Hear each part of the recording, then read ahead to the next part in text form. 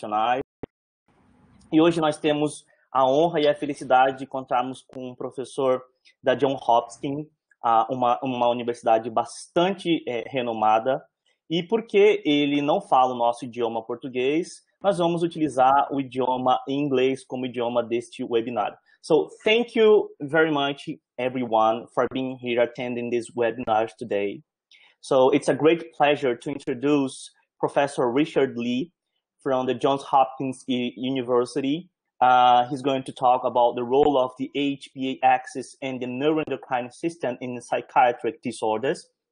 But today, I would like to thank you, but thank you also for give thanks for Professor Mirian Hayashi. Professor Mirian Hayashi is in the charge. He's, she's in the charge of this webinar. She's part of the CAPES PrInt program of Unifesp in the theme inflammation. And all of this will happen today because he, she was contacting Professor Richard Lee and she was organized everything behind the scenes. So on behalf of the postgraduate studies and research office. I would like to thank you, Professor Mirian Hayashi, for being such a wonderful researcher, such a wonderful person, and someone that contributes a lot for the development of our university. And Professor Mirian Hayashi, uh, she was born and educated in Brazil, and she's currently associated professor of pharmacology at the Federal University of São Paulo and head of the molecular pharmacology laboratory at the Department of Pharmacology at the Escola Paulista uh, de Medicina. And Professor Hayashi is also vice chief of the discipline in cellular pharmacology a member of the scientific board of the intellectual property office at Unifesp. Also, she completed her pharmacy and biochemistry degree at the State University of Londrina in Paraná.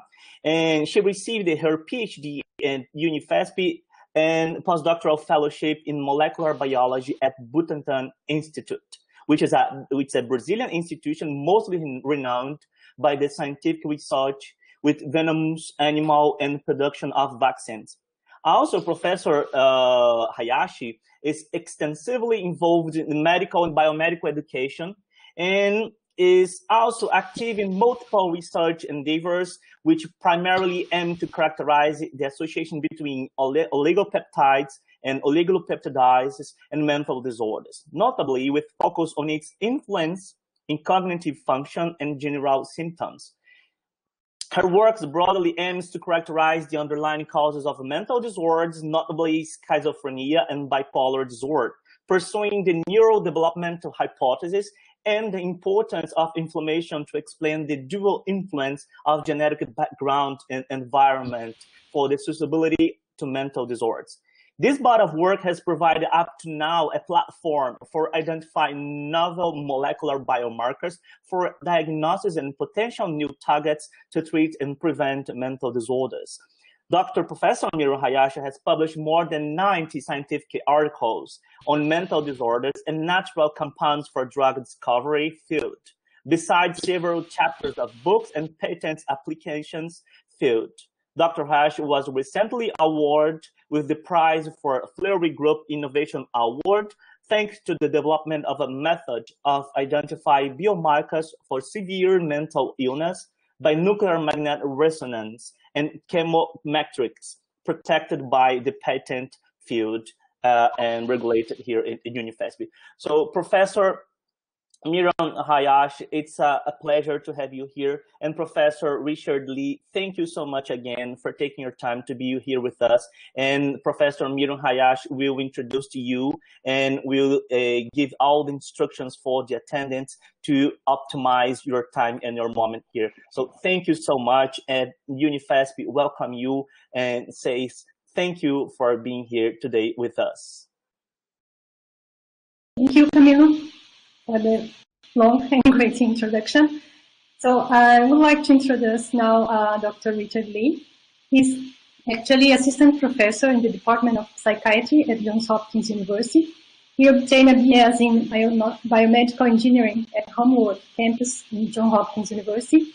He obtained PhD in molecular biology and genetics, and his postdoctoral training was in the Johns Hopkins University School of Medicine. For graduate school, Dr. Lee was trained under the epigeneticist Dr. Andrew Feinberg, where his research focused on uncovering epigenetic mechanisms that underlie genomic imprinting in childhood developmental disorders. Dr. Lee then received his postdoctoral training under Dr. James Potash, currently the chairman of psychiatry at Johns Hopkins, and he has been applying tools and methods of epigenetics to elucidate the mechanism by which stress exposure can affect genes and pathways involved in psychiatric disorders. He also worked with collaborators to understand epigenetic mechanisms associated with drugs of abuse, psycho psychotropic medications, and motivation behavior. And I hope that we can also uh, straighten our connection and start some um, successful scientific collaboration. So I would like to thank you very much, Richard, for your uh, for attending, for accepting my invitation, and also for the audience. And before you start, I just would like to ask the audience to make the questions uh, by the chat, and I suppose to translate those that cannot uh, um, express in English. So uh, you can write in Portuguese if necessary, and then I will try to translate Richard. So we are planning to have one hour of presentation by Dr. Richard, and then we'll have 30 minutes for questions and discussions. Okay? So thank you very much, Richard, and the screen is yours. Okay, thank you so much for uh, the invitation. I'm thankful for the uh, in institution and uh, Dr. Hayashi for uh, for the uh, generous uh, invitation. Um, as mentioned today, I will talk about the role, role of the HPA axis and the neuroendocrine system in psychiatric disorders. Um, I will, I guess, I will talk to you briefly about uh, what what stress is. Uh, it, it's a, a, lot of different things, but uh, mainly I will be talking to you about psychosocial stress and how it uh, contributes to uh, psychiatric disorders. Uh, and to fully understand how stress can lead to psychiatric disorders, we need a brief discussion on a field called epigenetics. So I will talk to you um, for a little bit on epigenetics and some of the uh, different flavors of epigenetics, different mechanisms, and some of the tools that we use in epigenetics. And I will then switch gears to talk to you about how epigenetics pertains to uh, stress and psychiatric disorders. And the second half of my presentation, I will talk to you about some of the case studies that were mostly done by uh, the group here, as well as uh, by other groups looking at uh, epigenetics in human behavior and animal models as it pertains to psychiatry. Uh, and I'll have some afterthoughts on how HPA axis is involved in uh, some of the uh, substance abuse disorders such as alcoholism and uh, uh, drug abuse. Um, so let's get started. What is stress? Uh, stress is has been originally defined by Hans Selye in 1936 and it's defined as a non-specific response of the body to any demand for change. And it's a very general uh, uh, statement. Uh, but over you know 80 or so years, uh, we've learned a great deal about uh, you know the uh, physiological response to stress and what stress is made of. Now, uh, stress for the most part is made up of, uh, or the stress response is made up of two components. One is the autonomic nervous system, the uh, sympathetic and the parasympathetic systems that, you know, in, initiate or precipitate the stress response and then kind of uh, returns the body back to normal. But of greater interest to me is the HPA axis. So this has a much longer impact on uh, physiology than uh, the autonomic uh, nervous uh, system. Uh, so the HPA axis consists of the hypothalamus, the pituitary, and the adrenal glands um, that through neuroendocrine communication mounts the stress response. And the endpoint of the HPA axis being activated is the release of cortisol or the stress hormone. And I will also refer to uh, cortisol as a glucocorticoid, which is the kind of a general term for uh, these uh, stress hormones. And so, uh, starting from uh, um, the brain, the hypothalamus here in the red circle, uh, you have the perception of stress and release of the corticotropin releasing hormone from the hypothalamus to the pituitary below.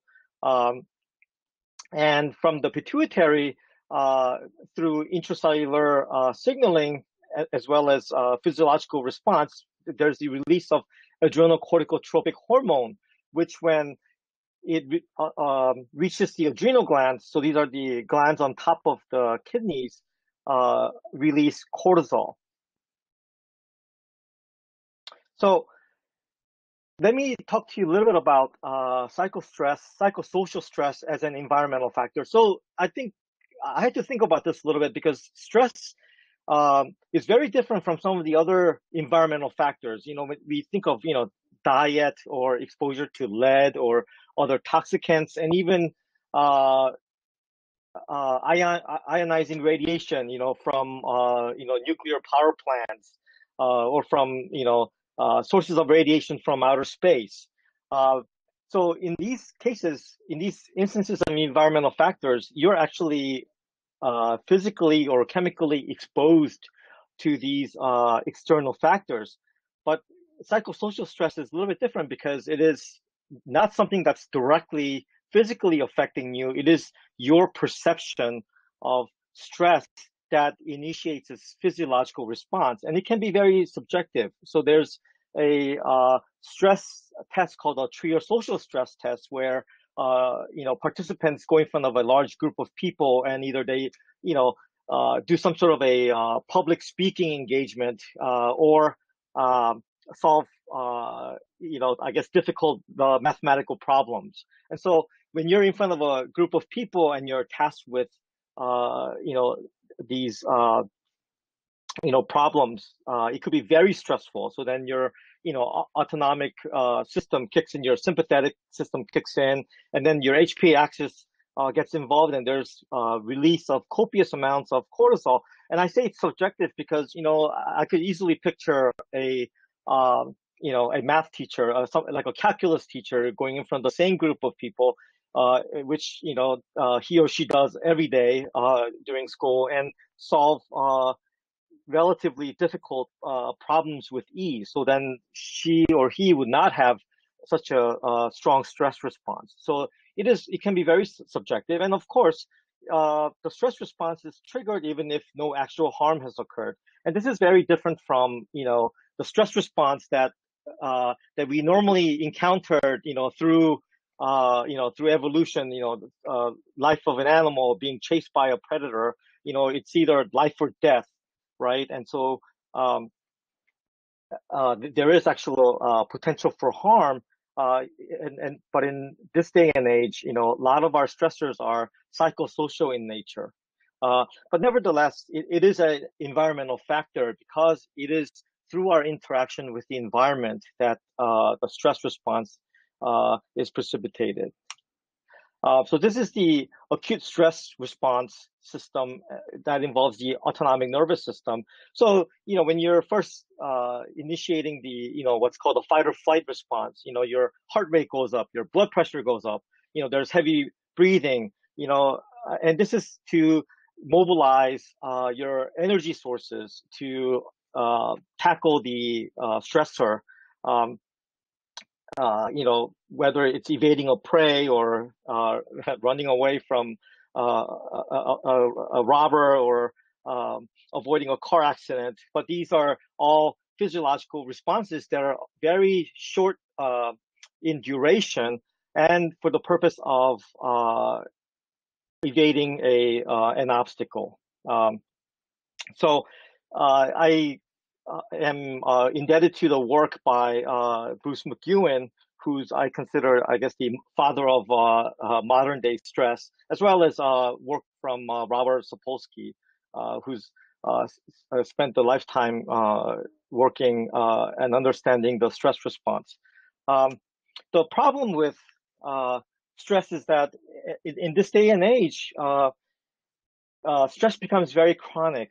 Uh, and so we have what's called allostatic load. So this is the cumulative wear and tear on the body uh, through repeated exposure to stress and uh, repeated activation of the HPA axis. And so some of the uh, mechanisms that existed to uh, mount a quick uh, acute stress response is now turned on uh, chronically. And so you have, you know, cardiovascular disease, hypertension, uh, susceptibility to cancer.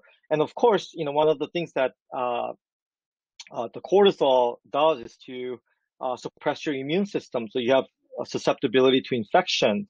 Uh, you have obesity and diabetes and so forth. Um, and of great interest to me, of course, working in the Department of Psychiatry are psychiatric disorders that are often associated as uh, consequences of chronic stress exposure. So there are uh, sources of these psychosocial stress. Like as I mentioned, we work in the post-industrial age. You know, the work environment with the social hierarchy. You know, the boss that constantly is demanding more work from you. The morning commute of getting stuck in traffic or having to meet deadlines. There's relationships that uh, we are in, whether family or you know uh, for spouses. Um, there's financial, economic hardship. Uh, I think a lot of us uh, are uh, have entered that kind of uh, extra economic hardship because of the current status that we're in. for kids, there's bullying at school, and then we have the pandemic, and there are lots of people that are socially isolated as a result. And that is a surprisingly um, that is a potent stressor, uh, which I will uh, talk about later. And then, of course, uh, in the past four years, we had the uh, elected leadership. You know, uh, you know, I, I added the phrase uh, "make America boring again" because I think that government should be very boring. That you shouldn't have to think about them. think about the way the government works, but you know, unfortunately, in the past several years, you know, there's always something going on that made headline news. Uh, so it was very stressful for uh, many of the uh, uh Americans, at least. Um, and uh, changing gears real quick, let me uh, explain to you how stress hormone works. So as I show, as I've shown you before, the stress hormone itself, when it's released into the body, is based on um, a modification from cholesterol and cholesterol being hydrophobic, it readily goes right through your uh, cell membrane. And what happens is when it goes through the cells, it initiates a series of uh, molecular reactions. And so, you know, I'm going to get uh, quite technical here, but the uh, uh, uh, cortisol binds to a receptor called a glucocorticoid receptor, and it's usually tethered in a complex of proteins. And upon binding, it separates from that complex, it dimerizes, and then it uh, has some additional uh, work uh, signaling function in the cytoplasm of the cells, but also uh, one of the main things that it does is it uh, goes into the nucleus of the cell where it binds to specific um, sequences of DNA uh, called the glucocorticoid response element or the GRE. And as a result, there are uh, genes that are either turned on or turned off, and that um, initiates uh, at the intracellular level the uh, stress response. Um, and one of the uh, many genes that are uh, made or into mRNA uh, is a gene called or a protein called FKBP5, which I will talk uh, extensively uh, throughout this talk because it's one of the uh, few genes that I'm very interested in because of its role in psychiatric disorders. So to get into detail about how stress and stress hormone um, is associated with, with psychiatric disorders, I got into this because I, you know, working in the Department of Psychiatry, I'm not a clinician. And so uh, you know, it was very difficult for me to understand some of the uh, psychiatric disorders. And uh, for me to actually uh, kind of understand uh, at least some uh, mechanism of how uh, psychiatric disorders such as depression or bipolar disorder is precipitated, I thought, you know, as a molecular biologist, ah, there's stress, which is a very robust risk factor for a lot of these disorders. And uh, dysregulation of the stress response, it turns out through, you know, literature search is associated with, you know, anxiety disorder, PTSD, with uh, depression, bipolar disorder. And one of the wonderful things about stress hormone is that you could actually measure it in the blood of, even in saliva, actually, of um, uh, humans and uh, and so forth. So to be specific, what does uh, stress hormone or glucocorticoids uh, do in psychiatric disorders? It turns out that uh, excess levels of cortisol and uh, the resulting glucocorticoid resistance. So this is when your body doesn't respond well to uh, cortisol signaling. It's often comorbid with depression. In fact, I think about 50% of the cases of depression uh, patients with depression have uh, this phenomenon where they have high levels of cortisol uh, in their plasma. Um, and it, working in the Department of Psychiatry, it, it turns out that I learned that uh, glucocorticoids are one of the few molecules that could actually trigger both mania and depression uh, in bipolar uh, disorder.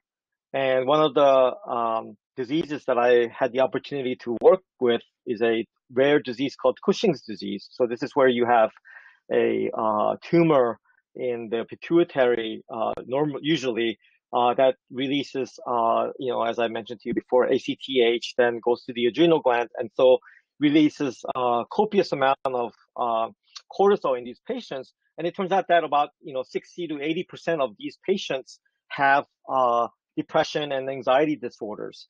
and what's I, I guess what's insightful about this disease is that when you you know surgically cure them or biochemically cure their condition, you know by removing the tumor, uh, the pituitary tumor, or uh, uh, uh you know giving them um, uh, glucocorticoid receptor antagonists to block their you know hormone signaling, their depressive symptoms are actually resolved. So you see this nice cause and effect relationship between uh, high levels of cortisol and the development of uh, psychiatric symptoms. Um, as I and I mentioned to you before, uh, social isolation is a potent stressor because it turns out that you know you know we are social creatures uh, by design, and uh, you know being alone for a very long time is very stressful, uh, not only for us obviously, but for animals that live in societies.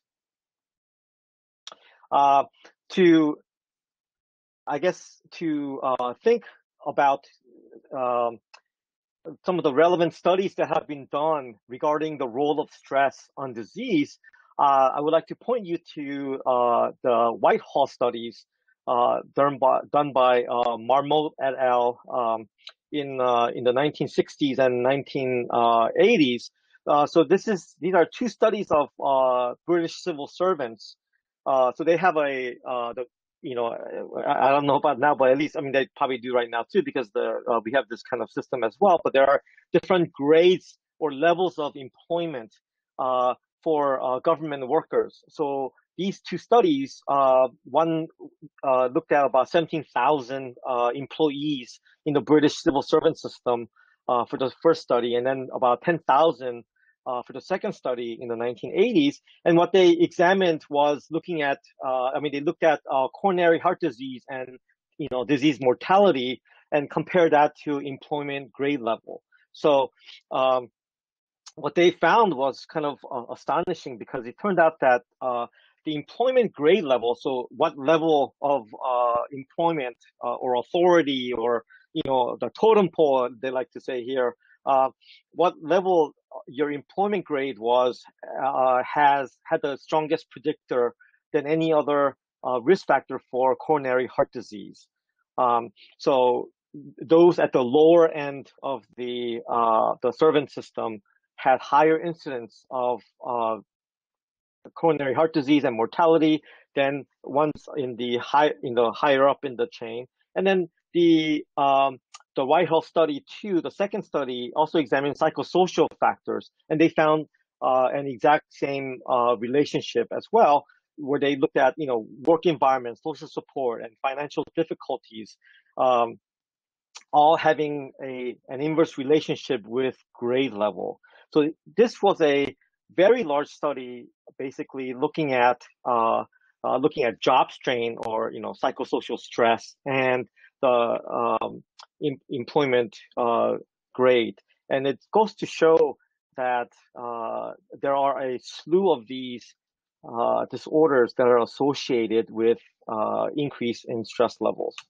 And to be more specific, uh, not only the um, stress, but looking at just the stress hormone itself, uh, cortisol or you know, generically glucocorticoids, there was even a bigger study uh, that was performed in 2012, looking at uh, over a hundred, over several hundred thousand uh, patients that were given uh, corticosteroids or you know basically cortisol for uh, diseases, autoimmune diseases, you know such as arthritis, asthma, lupus, and so forth. Um, now, these are non-psychiatric uh, uh, diseases, and so they compared basically, uh, you know, several hundred thousand patients who were given um, these medications um, for uh, these specific disorders, and uh, to others that did not receive these um, hormones. And what they found was a uh, significant increase in the prevalence of depression. They call it hazard ratio uh, you know, mania, panic disorder, and suicidal behavior.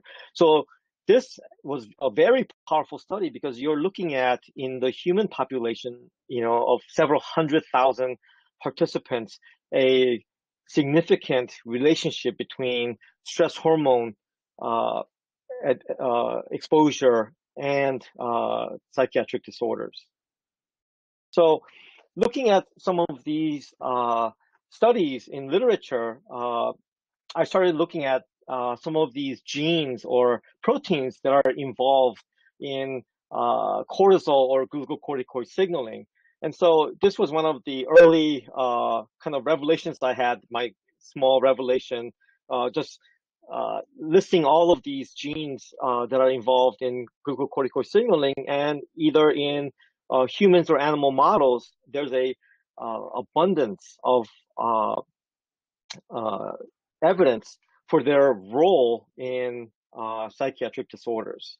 So now we're kind of getting into the, uh, the mechanism of things, uh, linking stress hormone exposure and some of these disorders that are involved with associated with chronic exposure. So kind of the framework that I have is that you have environmental stressors, activation of uh, the HP axis, and then you also have iatrogenic glucocorticoid administration. So, you know, uh, for, um, you know, asthma or uh, arthritis, you have uh, doctors, that, uh, clinicians providing uh, sources of cortisol to the patients. And so when you have high levels of cortisol, it turns on basically glucocorticoid signaling in the tissues and cells. And what you get are altered uh, uh, cortisol homeostasis, so your homeostatic levels of uh, stress hormone is becomes altered.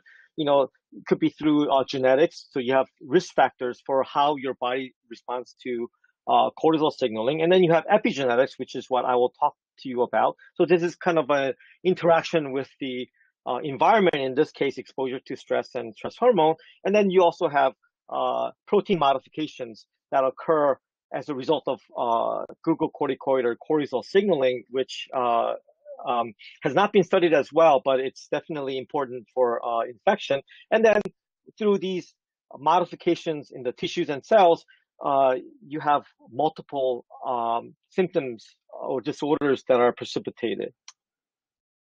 So let me explain to you or uh, switch gears and uh, talk to you a little bit about briefly about epigenetics. And I think that um, just to highlight some of the interesting case studies linking, uh, you know, stress or glucocorticoid exposure to uh, psychiatric disorders. I'll, I will kind of speed through them. So epigenetics is the study of uh, heritable changes in gene function um, that does not involve uh, changes in DNA sequence.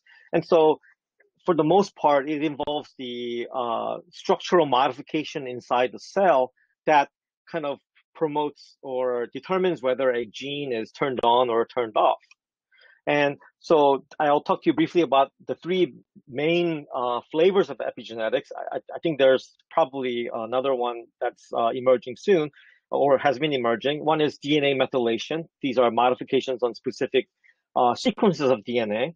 And then there's histone modifications.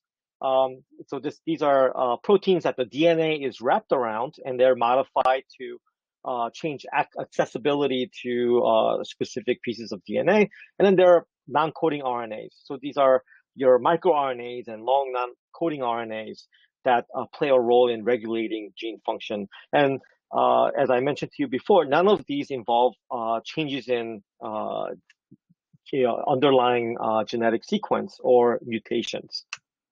And so this is DNA methylation. Uh, it's a um, methyl group that gets a, attached for the most part to cytosine. So we call it CPG because it's in the context of cytosine and a guanine, um, where a methyl group gets attached to the fifth carbon um, of cytosine. And basically, a general way to think of DNA methylation is that when, you know, for instance, in a cancer, in a tumor suppressor gene, you know, the promoter region is usually unmethylated. Um, to uh, to check cell growth. So you know these kind of white lollipops here represent unmethylated CPGs, and then uh, through you know a poor diet or exposure to some uh, mutagen, you know you have um, methylation of this promoter region of a tumor suppressor gene uh, indicated by uh, these black lollipops. And so then what happens is the gene is not turned on and you uh, when you have uh, suppression of a uh, tumor suppressor gene, um, repression of a tumor suppressor gene, uh, you know, the uh, cell growth is unchecked and you, you know, get uh, carcinogenesis. Um, there are other flavors of DNA methylation. in the past, I think about five or six years, DNA hydroxymethylation is another relevant modification. It's very prevalent actually in in the brain. So uh, there has been uh, an increasing number of studies looking at hydroxymethylation in uh, psychiatric disorders and behavior. Um, histone modifications. Um, uh, there, in, about 20 years ago, there's uh, um, a very influential review paper uh, um, calling all the modifications the histone code, where basically some of the lysines and um, other amino acids become, uh, you know, uh, covalently modified uh, by different enzymes. So you could see a whole slew of these enzymes that modify histones.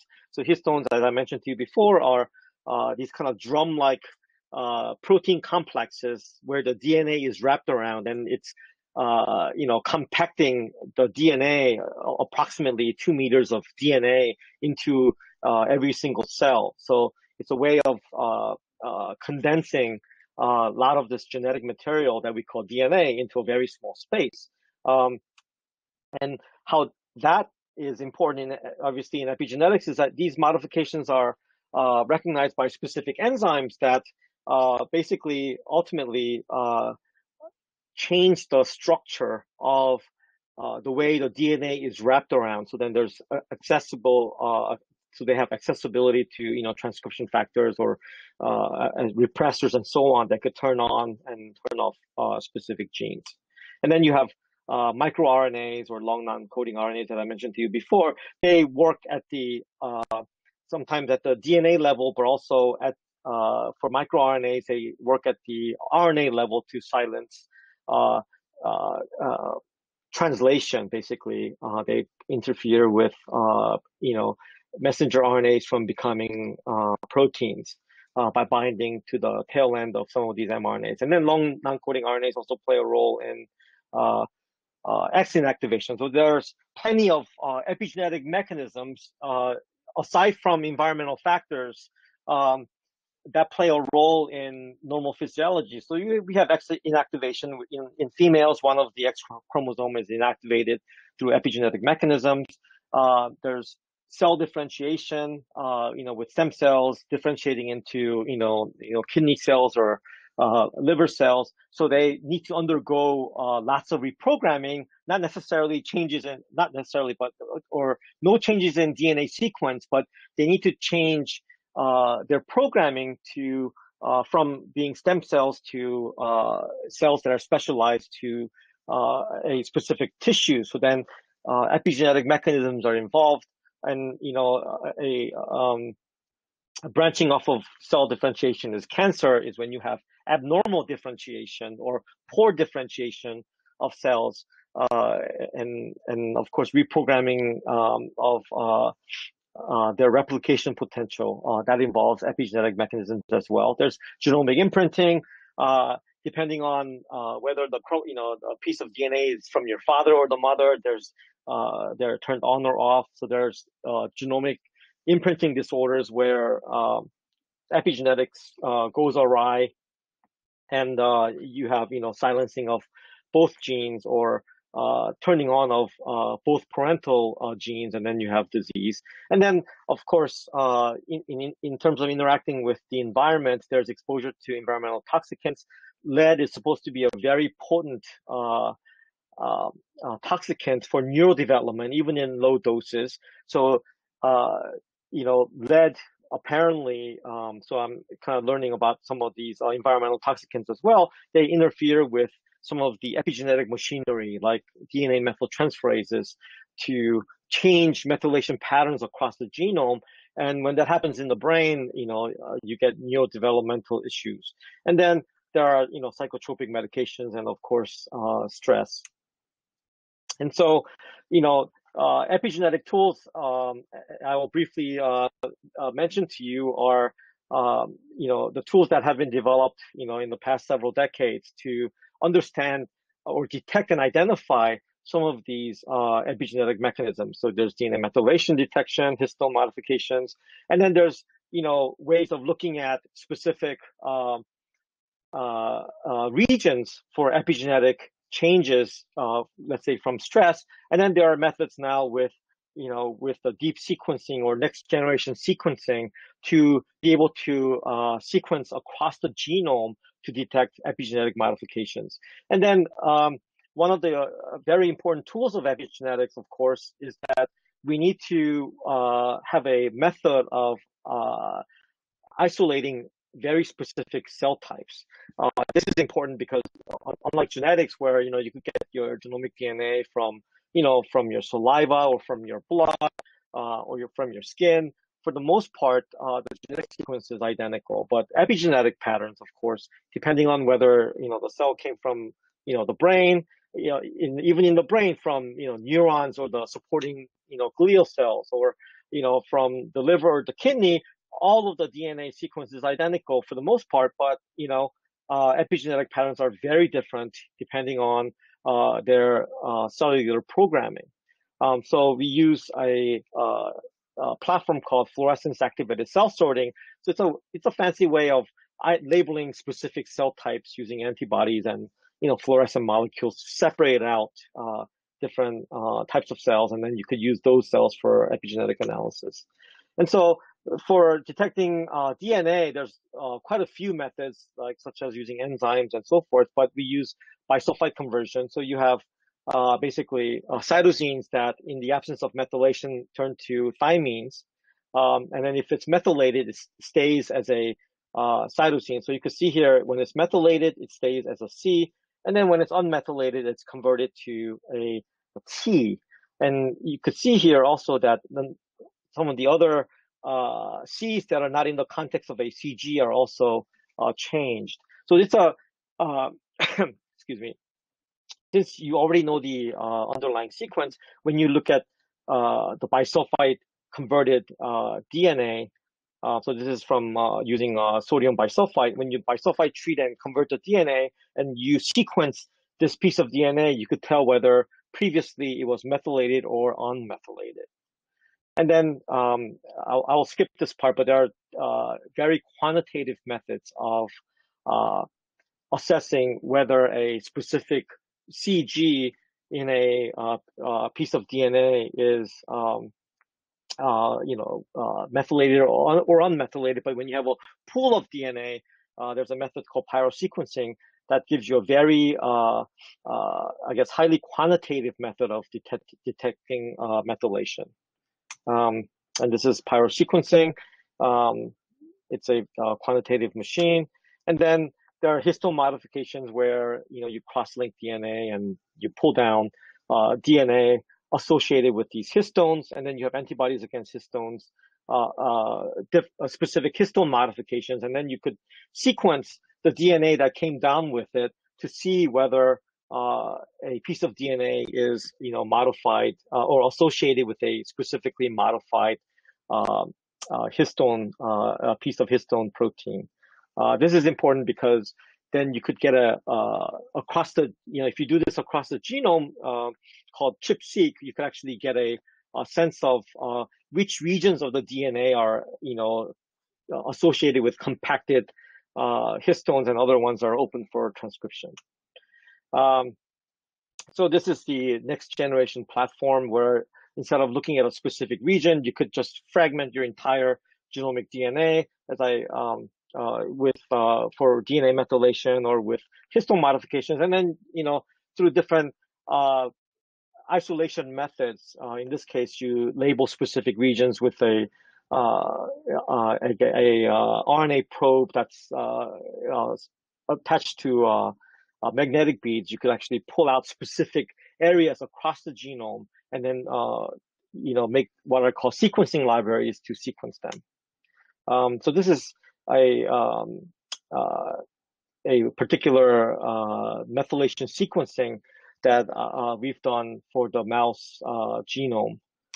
Um, and what you get at the end are kind of these uh, list of genes. So in, in this particular study here, uh, we looked at uh, you know DNA methylation changes that occur in mice um, that were treated with stress hormone, and then other ones are treated. Other group was treated with vehicle. And so then uh, we basically isolate, uh, you know, genomic DNA from both of these groups, uh, make these what, what, are called sequencing libraries, and then um, uh, after sequencing these libraries, you know, we separate them out into two groups and say, ask the question, what are the areas with the biggest uh, DNA methylation differences?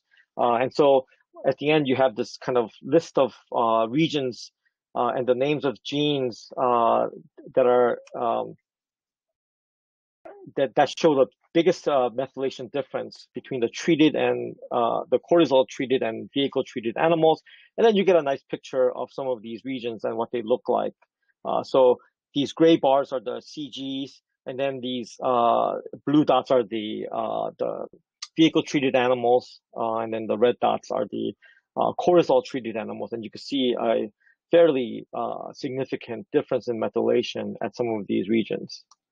And then, uh, unlike some of the uh, studies where you look at one or two genes, if you look at, you know, many genes across the genome, in this case, we looked at, you know, pro probably uh, over 10,000 genes uh, or regions uh, of genes across the genome, you could then identify what these genes are and what pathways they might be involved in. So then you could uh, look in, you know, you could do like what's called a pathway analysis in blood uh, and in the brain, and you could see in both of these cases the similar uh, types of pathways that are implicated from uh, cortisol treatment. Um, as I mentioned to you before, uh, you know, there are some obstacles in psychiatry uh, when it comes, comes to doing epigenetic analysis. And so this plays right into kind of uh, the need for uh, biomarkers. Um, and so, uh, in the introduction to uh, Dr. Hayashi, you know, she's involved in, you know, looking at biomarkers of, you know, schizophrenia. Um, and so, you know, I think epigenetics also, uh, we are in need of uh, biomarkers when it comes to uh, psychiatric disorders. And in, in doing so, we have several obstacles. One is, you know, tissue heterogeneity. Of course, we're interested in the brain, but as I mentioned to you before, uh, depending on whether it's brain or the uh, supporting glial cells, there are specific and different epigenetic signatures. And then, of course, why why do we need biomarkers? Is because some of the tissues that uh, that we are interested in, where you know the disease is occurring, is not accessible. You know, I mean, you could.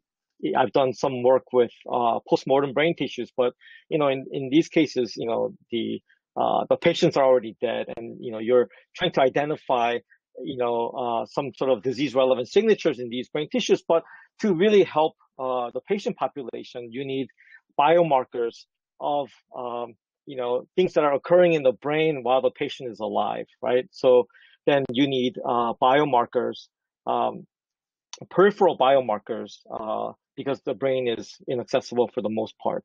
And um, some of the obstacles that we have with biomarkers uh, and of course with epigenetics in psychiatry is that there are lots of confounding factors. So we have age, sex, and medication, you know, comorbidities, all of these affect epigenetic signatures. Uh, um, well, not only when you're looking at it just for uh, epigenetic modifications, but of course as uh, biomarker potentials. You know, we know that uh, for those of you who are familiar with epigenetics, we know that uh, there's a large epigenetic change that occur as you age, and there are differences in epigenetics between males and females, and then of course medications uh, cause um, epigenetics as well, uh, epigenetic changes as well. Um, and this is what I mentioned to you before about obtaining uh, homogeneous population of cells. Uh, in particular, you can see here, this is uh, from a brain tissue uh, of Alzheimer's disease patients. And for the sake of demonstration, I went through and looked at a specific gene uh, that's specific for the glia. And then I separated out basically uh, DNA from neurons versus the glial cells. And you can see here, uh, the y-axis is percent methylation, and then these are uh, on the x-axis the different uh, positions uh, C of CGs. So there are seven CGs that are consecutive. Um, I'm looking at methylation by pyrosequencing of, uh, you know, in blue neuronal cells, and then with uh, glial cells, and you can see a world of difference uh, in epigenetic uh, modification, and it's coming from a same uh, coming from the same block of tissue where I you know you you cut it out from you know the postmortem brain, and then and then you process it further to identify these uh, or to uh, isolate these two uh, species of cell types.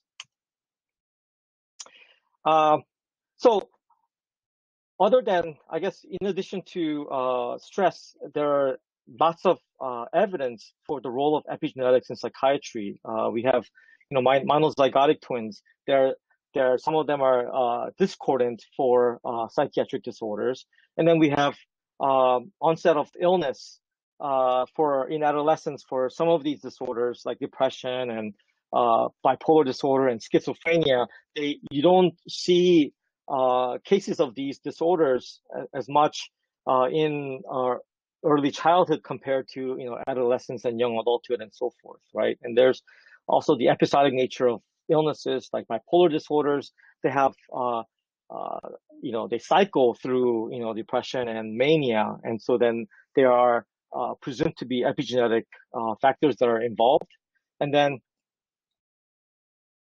of course there's uh, the relationship to environmental factors uh, I'll present to you some of the uh, case studies uh, briefly about some of these um, uh, instances, and then uh, you know even mechanism of action of uh, medications. You know, you know now we have you know ketamine and psilocybin, which are thought to be uh, or shown to be rapid acting antidepressants, but some of the other medications take a long time for to achieve their therapeutic effect and uh, it's it, it's it has been thought that you know it takes a while for some of these uh, medications to actually cause long-lasting changes, uh, uh possibly through epigenetic modifications.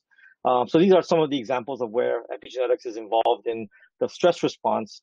Uh, uh, one of the probably the most important things I found working with animal models of stress and even cell lines is that um, exposure to stress hormone can directly uh, change uh, DNA methylation. So other people have looked at histone modifications, but I've focused mainly on DNA methylation because the uh, changes in DNA methylation to stress hormone uh, is, is very profound, as I show, uh, as I will show in the um, uh, next slides. So I've focused on a gene called FKBP5. If you remember, oh, there it is. If you remember from yeah from the next slide uh, that I've shown you previously, it is one of the genes that are or proteins that are involved in modulating glucocorticoid signaling.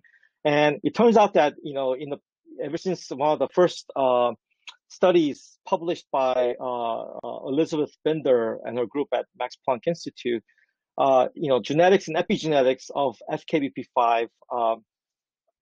Uh, I mean, it, it's a gene that's been implicated in uh, a whole slew of psychiatric disorders. you know, through mood disorders, anxiety disorders, and even addiction as well. And here you can see why FKBP5 is so important because after you have glucocorticoid signaling and activation of uh, glucocorticoid response genes, one of the uh, genes that are transcribed is FKBP5. And so uh, what happens is when you have more of this uh, gene transcribed and translated, it acts as a intracellular negative feedback on this entire glucocorticoid signaling. So I mentioned to you before that in about 50% uh, of the cases of depression uh, is associated with hypercortisolemia and uh, glucocorticoid resistance. So this is uh, one of the mechanisms of how glucocorticoid resistance is achieved in depression. It's because you have uh, high levels of FKBP5 being uh, made from, you know, I guess repeated stress exposure uh, in, in, in these cases of depression. And what it does is it blocks additional glucocorticoid or cortisol signaling. And what happens is you start accumulating lots of uh, stress hormone in the plasma. And then because of this uh, signaling, the body is no longer as sensitive to glucocorticoids or cortisol as before.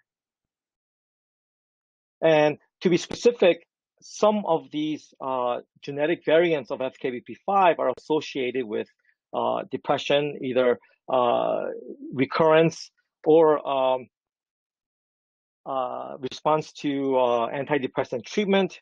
Uh, there are SNPs that are involved, actually the same SNPs or you know genetic variations are involved in bipolar disorder. Um, there's also you know gene environment interaction with uh, exposure to childhood uh, adversity, uh, on a risk for PTSD.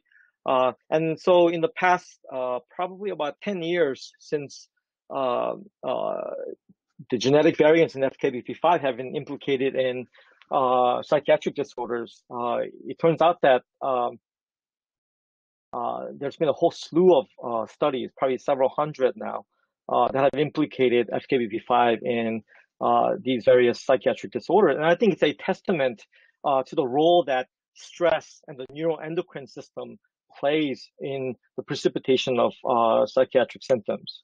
And so this is a small part of my work looking at epigenetic patterns. So this was, you know, you know, it's a very simple experiment done in a uh, cell line. Uh, this was obviously replicated in an animal model as well, but you could see with uh, treatment with uh, stress hormone, in this case, CORT, or you know, corticosterone for the rodent version of uh, the stress hormone cortisol, you can see here that uh, animals that are treated for about four weeks show, uh, you know, I guess different increases in the expression levels of this gene.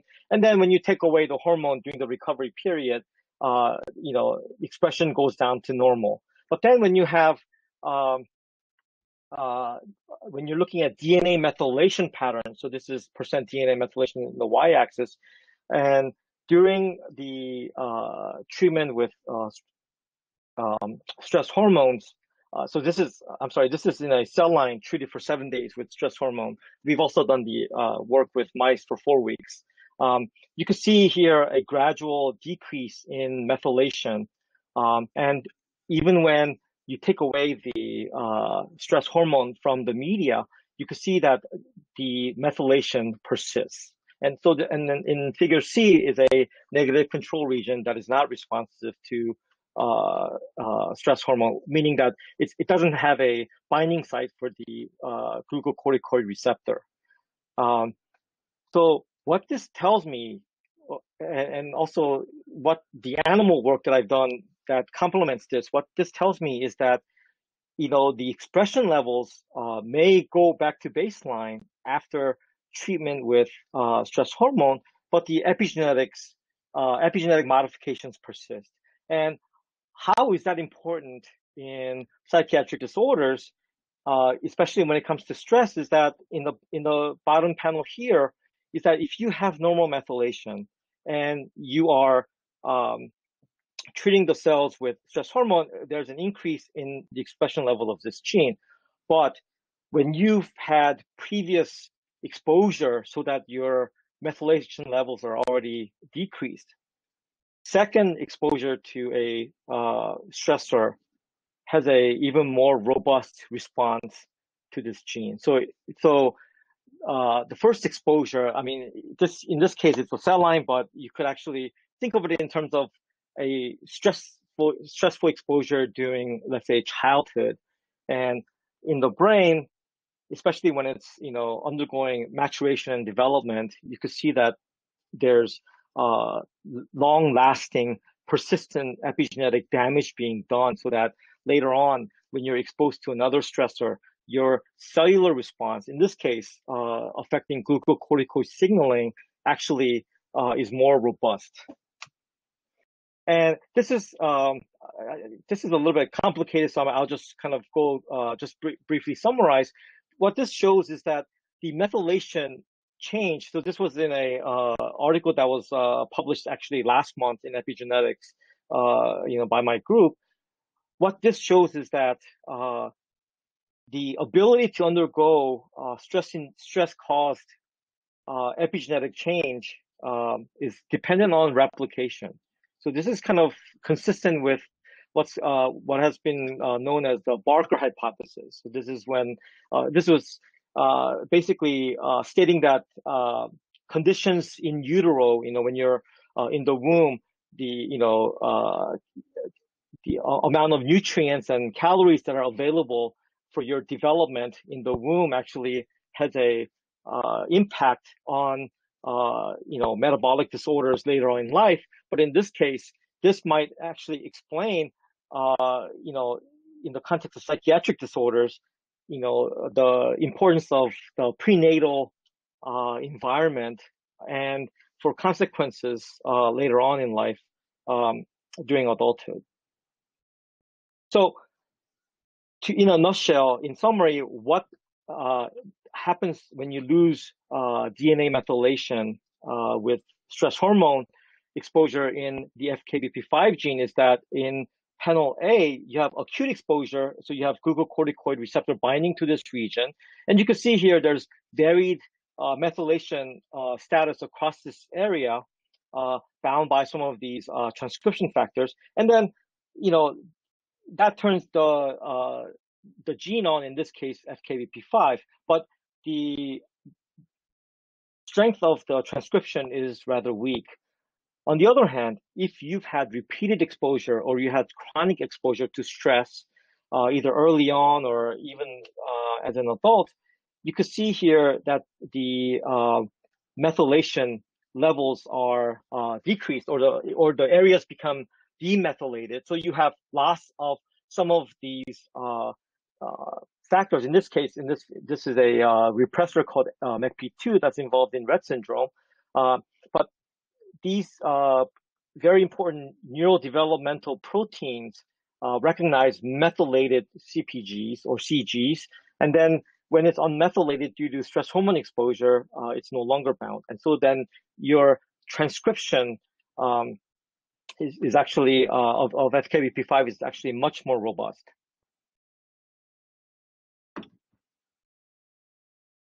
So thinking about um, the role that FKBP5 plays in psychiatric disorders and the need for uh, possible biomarker um, development, we've uh, started to look at the role of uh, some of these epigenetic patterns as potential biomarkers. So one of the things that we did was to uh, look to see whether a uh, epigenetic patterns that we uh, detect in the blood could actually predict some of the uh, processes in the brain. But first, we wanted to see if it correlates to any of the other symptoms of uh, glucocorticoid or cortisol exposure. And so what we did with animal models is that we um, wanted to look to see whether uh, methylation levels actually correlated with a month uh, worth of uh, stress hormone exposure in the animals.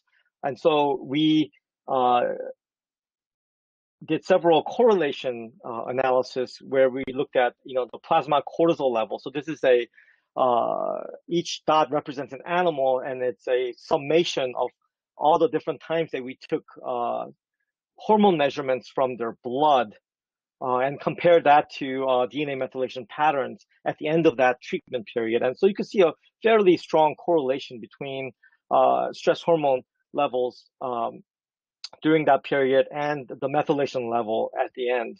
Uh, so this is uh, for two CPGs, and then we also looked at uh, DNA. Uh, I'm sorry uh, for FKBP5 expression, and then um, we could look at some of the other uh, parameters that are affected by chronic stress hormone exposure, such as organ weights of the thymus, of the adrenal glands. We looked at spleen weight and visceral fat. So remember, from chronic stress hormone exposure, there's you know changes that occur at the periphery uh, such as obesity and diabetes and so forth. So we were confident that uh, the DNA methylation pattern that we're detecting could actually uh, reflect some of the other physiological changes occurring in these animals. And then this was actually uh, presented uh, uh, when I was at Sao Paulo several years ago. I think it was 2014. Um, looking at the correlation between DNA methylation and some of the processes that are occurring in the brain. So in this case, um, we're look looking at DNA methylation of uh, the FKBP5 area against you know gene expression in the hippocampus, as well as uh, uh, uh DNA methylation in the hippocampus. And so there was a fairly decent and significant correlation uh, between what we could get from the blood and what's uh, occurring in the brain. So then, you know, I like to uh, uh, present to you some of the uh, case studies that we've been working on, looking at stress hormone response in uh, the human samples as well as some animal models. But uh, one of the things that we did was then, if we could successfully detect um, methylation in the blood to predict 30 days of uh, stress hormone exposure in the uh, uh, in these animals. Can we also do that for humans? So we recruited about a hundred or so uh, healthy humans. Uh, this was a very, uh, I guess, a long endeavor, and to see whether methylation levels in the blood could actually predict about a month of cortisol measurements in about 100 participants. And we measured this by getting their uh, saliva cortisol levels morning and night consecutively for 30 days. So this was a, uh, uh, monu- I guess a not monumental, but it, at least for me it was. Uh, it was a very difficult uh, study in collaboration with uh, Gary Wand, who's the endocrinologist who kind of oversaw this whole project. Um, and what we found was that you know it's not as strong, but there's a fairly decent correlation between uh, amount of uh, stress hormone exposure or you know stress hormone that we measured in these participants and um, um, and the methylation levels. And then so then we uh, using uh, some of the deep sequencing or next generation methods that I mentioned to you previously we then looked at some of uh, uh, regions across the genome. So this is using a platform called Agilent uh, SureSelect MethylSeq platform. And we looked at about 33.7 uh, million CGs across the genome of specific regulatory regions. And, you know, uh, we, I, we identified uh, methylation patterns that were associated with, you know, 30 days of, you know, emotional stress, bedtime cortisol and awakening cortisol. And we're also able to uh, come up with some of the pathways that are involved.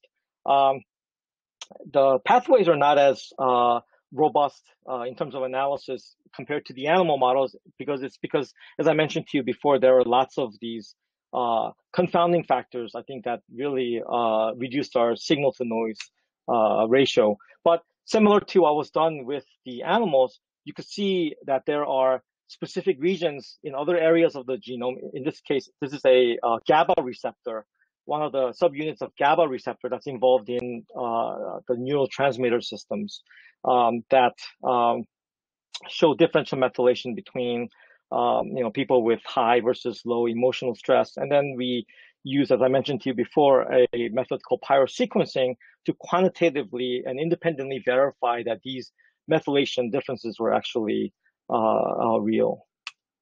And then this was a work done by uh, uh, Elizabeth Binder and her group, as I mentioned to you before, on the FKBP5 gene. And in this case, we are looking at the contribution of genetics. So, you know, as I mentioned to you before, the uh, um, epigenetics plays a big role in uh, the stress response, but there's also uh, an aspect of genetics where your genetic variations uh, can determine your susceptibility to stress-related psychiatric disorders. In this case, you could see a uh, much stronger activation of um, the FKBP5 gene if you have the risk allele in B compared to uh, the protective allele. So this was a case of um, uh, where you know individuals that were exposed to uh, childhood trauma and had also the risk allele showed a much higher uh, activation of FKBP5 um, compared to those that were not exposed and those also who had the uh, protective allele. And then this was a very small study that we did uh, in cord blood samples. Remember, I told you about the uh, uh, the kind of the Barker hypothesis about the importance of the prenatal um, uh, period. Here we looked at uh, several of the CPGs important, as well as the um, the risk allele. And it turns out that if um, in the cord blood DNA of mothers who were exposed to or who had anxiety or depression, there was a much higher methylation level, uh, you know, subset of our samples that had the uh, the risk allele compared to the protective allele. And then, uh, as I mentioned to you before, you know, st stress plays a prominent role in bipolar disorder. This was done with uh, Dr. Uh, uh, Jenny Willour from University of Iowa, looking at FKBP5 expression um, across the gene in control postmortem brain compared to uh, postmortem bipolar samples. And you can see here there are expression differences as well as uh, methylation differences. And there's a fairly decent correlation between methylation and uh, expressions, suggesting a potential role for this stress response gene in bipolar disorder. Um, this is a another fancy, I guess, for me, animal study that I did um, looking at uh, uh, directly actually modifying DNA methylation of the FKBP5 gene using uh, the gene editing uh, tool CRISPR. So you know that's uh, a lot of people are using these um, uh, tools, these very powerful tools now to edit the genome. But they also have ones where instead of the nuclease, they have the enzyme that modifies DNA methylation or histone modifications attached uh, so that you could actually site specifically modify uh, the epigenetics of a specific region. In this case, it's the uh, basolateral amygdala uh, that was um, uh, targeted for uh, FKBP5 methylation. So we've actually introduced the the Cas9 DNMT DNA methyltransferase construct into these brain regions to site specifically modify uh, a region within the FKBP5 gene. And what we found was that after uh, modifications, these animals um, actually had lower levels of FKBP5 expression and they behaved differently than uh, um, the negative uh, control animals uh, in a test of uh, anxiety-like behavior on the elevated plus maze. And finally, uh, this is a uh, fairly recent endeavor of mine, which is to look at the role of HPA axis in another psychiatric disorder, which is substance abuse. Um, I was I, was rather surprised to find that um, uh, the HPA axis uh, plays a prominent role in some of these substance uh, abuse disorders like alcoholism and you know opioid uh, use. Um, and and it turns out that uh, these disorders are very comorbid with psychiatric disorders. It, it, goes both ways. So if you look at people who have addiction, uh, uh, they often have psychiatric disorders and vice versa. And it turns out that it's because, in part, these disorders share a same set of genes that it turns out that they're activated by uh, the glucocorticoid signaling or uh, HPA axis activation. Um, and um, one of the important things that I found through uh, looking at the literature for human studies and animal work is that when you actually get rid of their ability to mount a stress response, it significantly alters uh, their craving for drugs. So this is something that I'm, you know, trying to get to the bottom of uh, probably in the next couple of years to try to see uh, how stress, what kind of role stress plays in uh, some of these uh, substance use disorders. And so I'm going to leave you with uh, kind of a summation of what I think happens when you are chronically exposed to stress or stress hormone and how psychiatric uh, disorders uh, develop. So you have um, uh, exposure to stress hormone and um, glucocorticoids, and as, as, in the case with uh, the FKBP5 gene, which regulates intracellular uh, glucocorticoid signaling, you start getting alterations epigenetically with chronic exposure, right?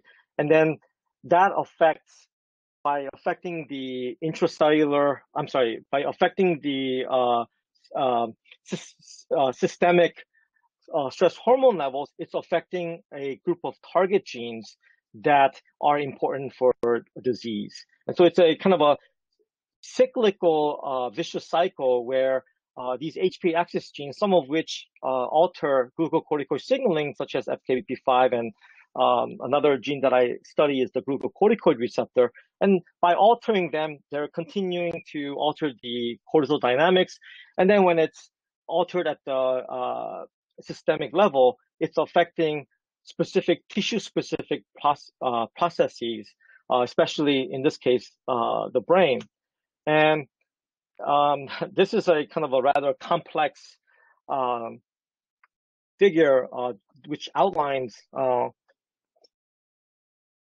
the interconnectedness of the uh, neurotransmitter systems. So one of the things that um, another thing that I've been working on is to see which of these uh, HPA axis regulated genes are uh, involved in uh, neurotransmitter function. It turns out there's a quite a few. There's, you know, dopamine signaling, uh, like tyrosine hydroxylase. Um, there's the serotonin transporter, uh, serotonin receptor. Many of these uh, genes that code encode neurotransmitter transport synthesis and receptor signaling are regulated by glucocorticoid or stress hormone signaling. And because they are, uh, because these systems, these neurotransmitter systems are uh, interconnected, meaning that, you know, in uh, different regions, they have neurons that uh, project to different regions of the brain carrying different neurotransmitter systems. You can see how even uh, a dysregulation by stress of any one of these uh, neurotransmitter systems can affect other brain regions and other neurotransmitter systems. So one of the things I did not uh, cover in this um, uh, in this presentation is that there are a whole slew of these genes that are also epigenetically modified uh, by uh, repeated or chronic uh, stress hormone or stress exposure. Um, so it gives you a kind of a framework of how repeated uh, or chronic stress uh, and alterations of the HPA axis leads to um, uh, psychiatric disorders. Thank you.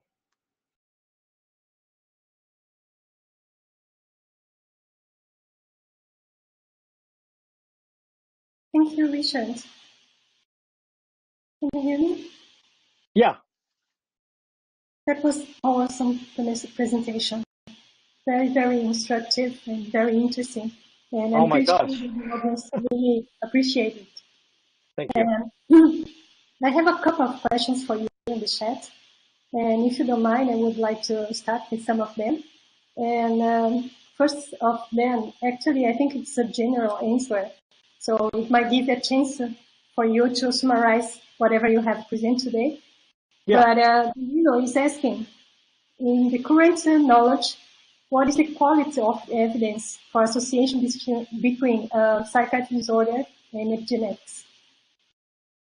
Yeah, so uh, there's actually uh, strong or quite a bit of evidence uh, between epigenetics and psychiatric disorders. Uh, even aside, even aside from uh, stress, there's been a whole number of studies by different groups, uh, you know, looking at either, you know, in the postmortem brain or, um, uh, or, you know, peripheral tissues of, you know, psychiatric patients. You know, you have schizophrenia, you know, bipolar disorder, depression, PTSD, and they have found a whole slew of uh, epigenetic modifications or epigenetic differences, you know, DNA methylation, and there's a group up in, uh, uh, I think Mount Sinai, Akbarian uh, is a very uh, prominent researcher in, you know, histone modifications, uh, looking at postmortem brain tissues of, you know, you know, schizophrenia, and found a large amount of evidence to show dysregulation of epigenetic patterns in psychiatric disorders.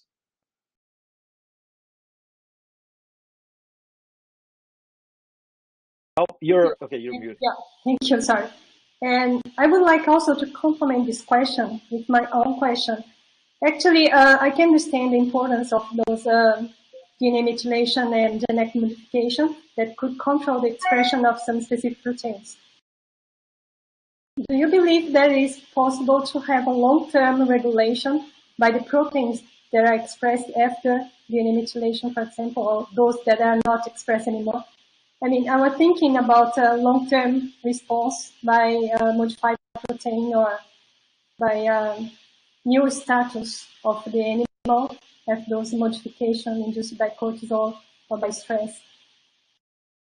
Yeah, so yes, I, I, you're like coming in and out, but I, I think I got the gist of your question. Yeah, so protein modification, um, uh, and and you know, since I presented this to you last year, I, I've also you know uh, took the opportunity to learn more about, you know, protein modifications in, uh, you know, with stress and epigenetics. And uh, there isn't uh, as much, but uh, actually found a lot of evidence for uh, the role of protein modifications in psychiatric disorders as well.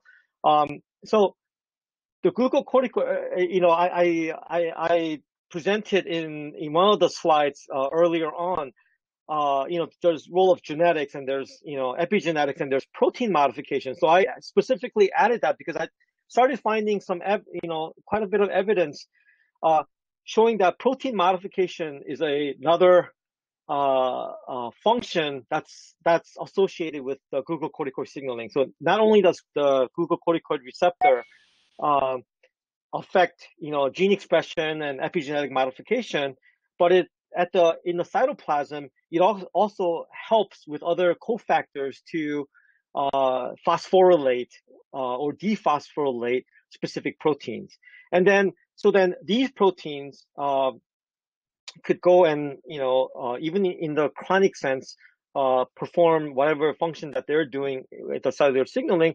And converse, uh, alternatively, some of these genes that are transcribed they're made into mRNA. And so this is a limitation of my research, which is, you know, because it's convenient for me, you know, to look at mRNA, uh, you know, that's what I measure. But you, you, know very well, of course, because you work with proteins that, you know, uh, uh, that there's not a good correlation between, you know, uh, amount of mRNA and uh, proteins. So mRNA could actually disappear after a little bit, but you know, depending on the protein, they could some of the proteins could last much much longer, right? And so, uh, in the chronic sense, I think that uh, depending on the half life of some of these proteins, they could have a long lasting effect uh, even after you know the mRNA has been degraded.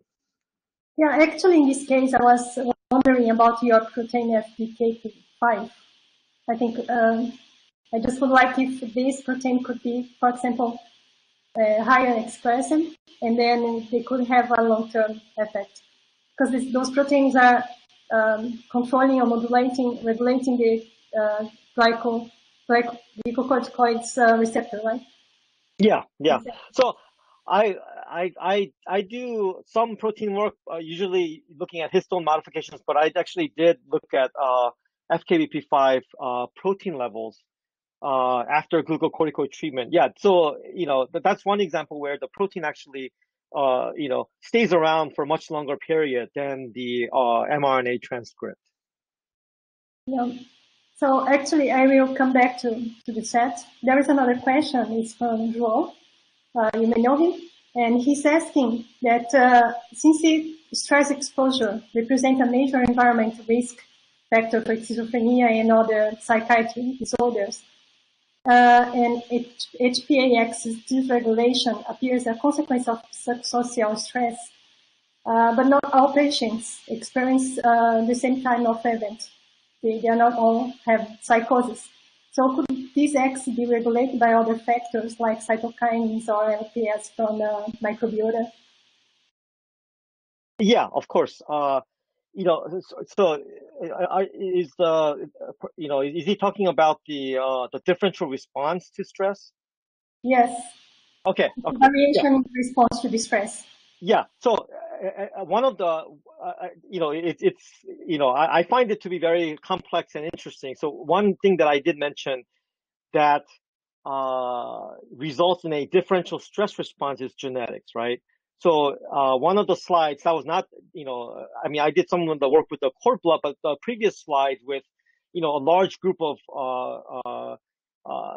participants looking at genetic variation and their stress response definitely implicates at least genetics as a factor, right? Um, uh, you know, there there's a risk allele. If if you have the risk allele and then you have exposure to a, uh, in this case, childhood trauma, then you are more likely to develop psychopathologies later on compared to somebody who's not exposed, even with the risk allele, or somebody who's exposed but has a protective allele, right? So there's a differential stress, you know, response later on.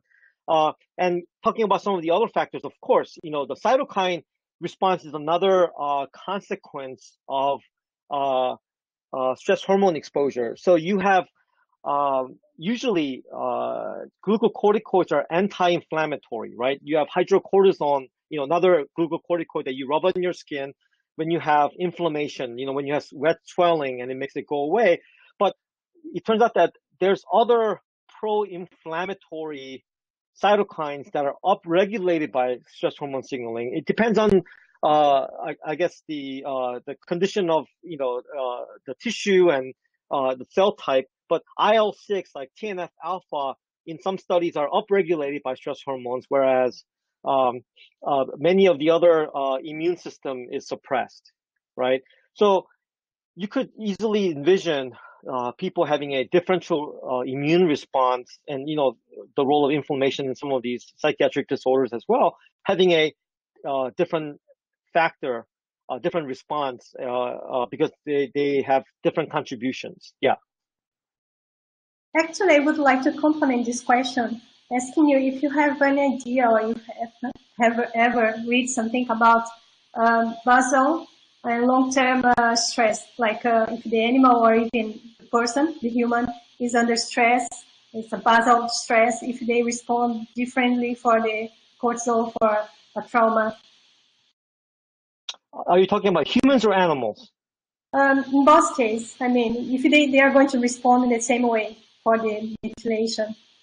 Yeah. So, uh, yeah. So, um, remember, yeah. So this is, this is, uh, you know, as, as, you said, complementing the previous question. Yeah, there's a, definitely a differential response, right? I mean, so I could think of, uh, uh, uh, uh what is that? The social defeat stress work done by Eric Nestler, you know, where he clearly identifies, you know, groups of animals that are, you know, resilient versus uh, uh, susceptible to stress, right? So you you uh, they undergo the exact same uh, stress regimen, and at the end they have very different stress response in terms of their interaction with other, you know, social avoidance is one of the tests that they use to uh, assess resilience or susceptibility, right? And so they have a very different response. And then with humans, of course, uh, uh in, in addition to what I mentioned to you before, when you give uh, uh, people the you know the social stress test, you know, obviously, you know, it's not ethical.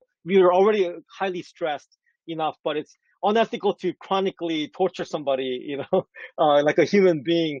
But you know, there are some acute stressors that you could give people, and uh, I mean, there, there's a huge uh, range in the response that you get, and it it depends on uh, their genetic makeup, and then as you mentioned, you know, you know, maybe their cytokine profile, uh, even the microbiota, their interaction with, you know, uh, the gut uh, bacteria.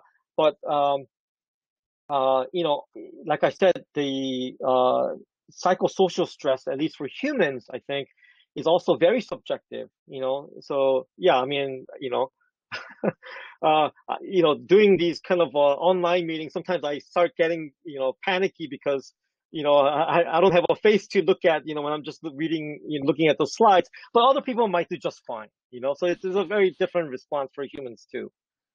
I, I think you can close your presentation because they, they close it here. So actually you can have your normal Oh, screen. I think, yeah, I think it's closed. Yeah, it's closed. Someone closed okay. for you. Okay, yeah, yeah, yep, yep. That might be better. At least you can see me, but uh, we can see Yeah, yeah, yeah, yeah. Yeah, that's why. That's why I feel so much better.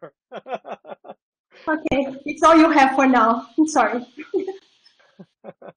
but uh, okay, so actually, what I was asking is that you mentioned about uh, previous contact with uh, cortisol, for example. If you have a previous um, sensibilization, then you could possibly have a stronger effect later on. So I was just thinking that those uh, that are resilient animals, for example, or even human under long-term stress in a lower background, if they are going to respond uh, more strongly to a new um, to a new stress situation. Uh, are, are you? Uh, I'm sorry. Uh, if you're saying if if you are exposed to long-term stress before, yeah if you're going to more sensitive to new stress, the new trigger. Yeah. Yeah, so I'm. This is something that I've also uh, been uh, researching recently. Um, so, if you have had chronic stress for a long time, and I think you know, obviously, some of the work that I've done is you know basic science, right? It's in the cell line, and I'm now you know trying to look at some of the uh, behavior in the animals to show that it's actually the case that when you have a much stronger response later on, that you know you're more susceptible, right? But I think that uh, recent some there's some also recent evidence suggesting that you know if you have uh, maybe not chronic stress but acute stress, you know, uh, repeatedly, you know, in a kind of in a training fashion, then uh, you may be resilient to uh, uh, uh, stressors down the line. So, you know, it, it's it's still a bit uh, unknown as to you know what magnitude and duration of the stressors actually precipitates a more harmful stress response and what leads to uh, resilience. I think that's a very important topic, especially you know for the military, right? Because they want to know, you know, somebody who's been through combat, you know, how you know what factors uh, make it more likely for them to, you know, be gripped with fear, you know, in the second time they go on duty uh, tour uh, versus somebody who, you know, might not think too much of it, right? So that's that's an active area of research that I, I you know, I'm not quite aware, I'm not quite sure, but in in terms of some of the molecular aspect of it, you know, uh, if you look at you know some of the epigenetic changes that occur to change gene function. It definitely uh, not only work by me, but from other people too, that, you know, these previous exposure events act as kind of a primer. They, they prime your response for the second one to be more robust. Yeah, exactly. Uh, coming back to the audience again, there is another question from Rafaela. And she's thanking for the class and uh, she's asking if you ever found any evidence in the literature related to stress and ADHD. In what? I'm sorry? Uh, between stress and ADHD. Oh, I, am sorry. I, I, between stress and and it's a, a hyper hyper. Oh, ADHD. Yes, ADHD. Yeah. Uh, I I think there's some evidence for that. Uh, so you know, um, that's one of the weird things that we found, but we never pursued because the evidence uh obviously require we need more replication. But you know, the blood samples, right? Um, the blood sample work that I briefly showed you guys, uh, where we looked at the cord blood DNA of FKBP5, you know, for methylation, right? It turns out that in the group that had, you know, uh, in these methylation patterns in a kind of a sequence specific way, uh, you know, and that had mothers who had depression and anxiety. So, you know, in pediatrics, it's called toxic stress, right? it turns out that uh, there's a, uh, I think it was like uh, probably around 50% of some of these uh, children that came from being exposed to this maternal toxic stress had ADHD.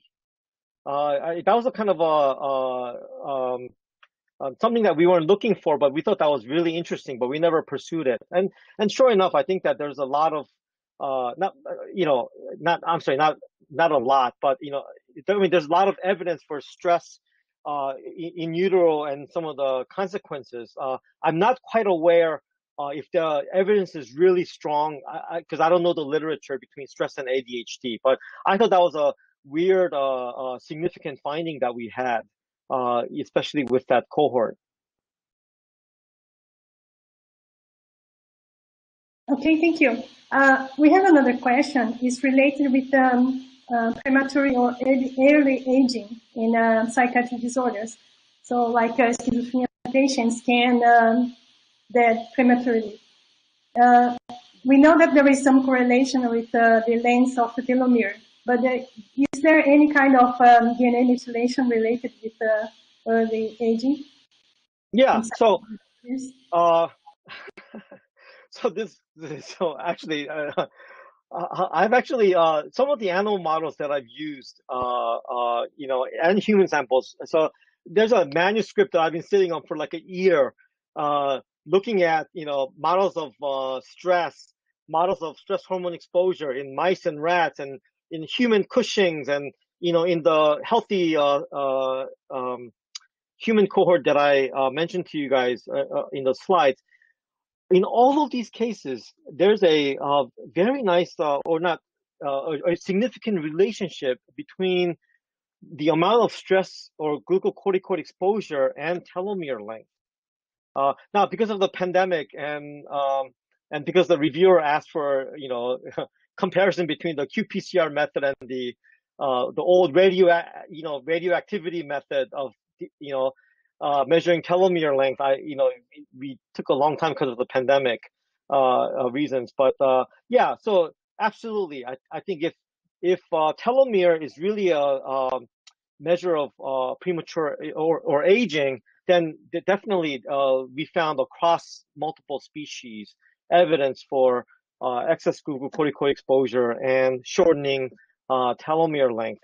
And there's also even probably even more ac- you know, accurate or powerful method of assessing uh, epigenetics. So this is the epigenetic clock by uh, Dr. Horvath at uh, UCLA. So you know, looking, you know, he he uses the uh, the uh, Illumina uh, epic array or the methylation array, looking at you know at that time 400,000, 450 CPGs and identifying very specific uh, CG methylation patterns associated with aging. So since the publication of his, uh, I guess his uh, groundbreaking paper, uh, there's been a whole slew of uh, work using that platform, you know, for various diseases to look at premature aging. And so um, I, I, did not follow um, uh, that literature as closely because I think that you know uh, the telomeres and even you know work my work that I do with telomeres, some work that I've done with telomeres and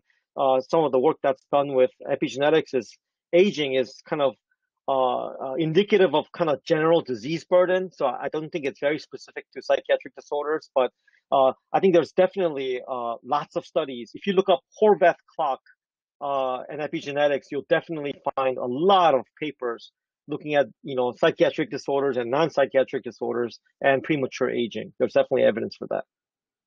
Yeah, I do agree with you because most of the disease is actually finished with uh, oxidative stress and uh, disease yeah. closely related with aging. So it's yep. very difficult to indicate this for a specific disease. But uh, in the case of psychiatric disorder, we have also the use of antipsychotics that are quite strong um, medications with a lot of side effects. So they right, might have right. the effect of the drug and not only of the disease. Right. And, you know, um, some of the work uh, recently done by me and, uh, and previously by other people, I think uh, also, uh, now that you mention uh, psych, uh, psychotropic medications, is that uh, even like some of even many of the SSRIs, you know, that are supposed to uh, work at the serotonin uh, transport level, are actually affecting glucocorticoid signaling. So uh, I'm sure that's not their intended effect, but I, I think there, there's now several uh, studies that show that uh, you know treatment with antidepressants, especially you know um, SSRIs uh, normalize uh, glucocorticoid signaling in animal models of stress and uh, in psychiatric patients. Great, Richard. So uh, if there is no any more question, I just would like to thank you for your great presentation and for this long discussion. You might be hungry because of the time. Yeah. so, uh, if, uh, so thank you once more. Yep. I hope we can keep in touch. Yep, of course. Have a nice lunch. Yeah, thank, thank you. you so much for this invitation. Thank you. My pleasure. Thank you. Bye bye.